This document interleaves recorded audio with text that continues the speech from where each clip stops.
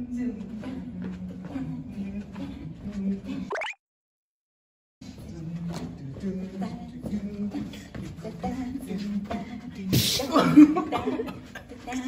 んにちは。こんにちは。アンジェロ役の、アンジェロ役の小林です。こんにちは、ピア役の竹内智子です。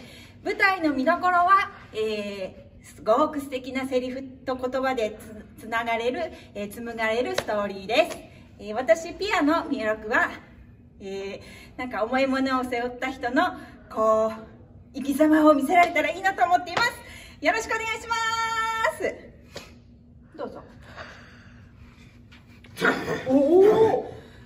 アンジェロ役の小林蘭です。お願いします。この作品の見どころはですね、各所に出てくる歌ですね。で、僕の役としての見どころは、ラストシーンに出てこないんですけど、それの、まあ、意味っていうところですかね。ラストシーンに出てこないんですけど、それの意味っていうところですかね。じゃあ、お楽しみに。ありがとうございます。全体、バイバーイバイバーイバカ野郎ピアそう